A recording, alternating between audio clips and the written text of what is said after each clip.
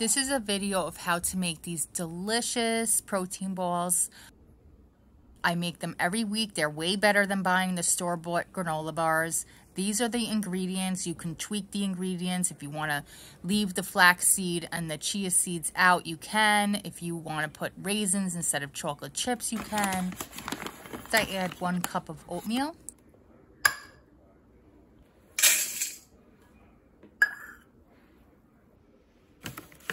Then I add one third cup of flaxseed.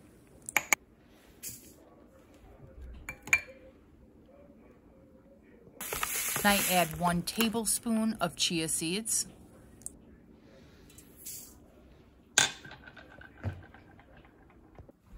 Then I add a half a cup of semi-sweet chocolate chips. Then I add a half a cup of peanut butter or you can substitute with almond butter.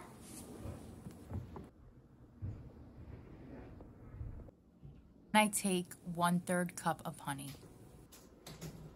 I put the honey in the microwave for about 10 seconds to melt it.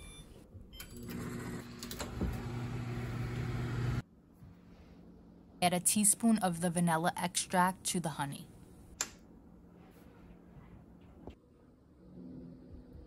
The honey mixture gets added to the bowl. Blend everything very well together.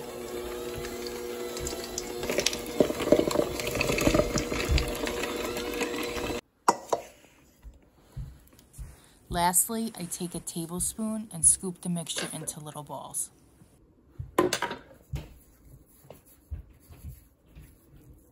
Roll it like this into balls. Place them on a plate to be refrigerated.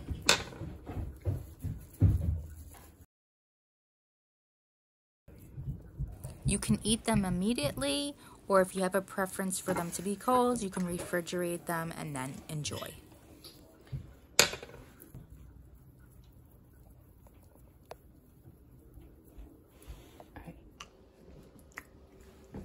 This is the final product with the ingredients. I highly recommend them. They're delicious. My kids love them, and I think you'll love them too.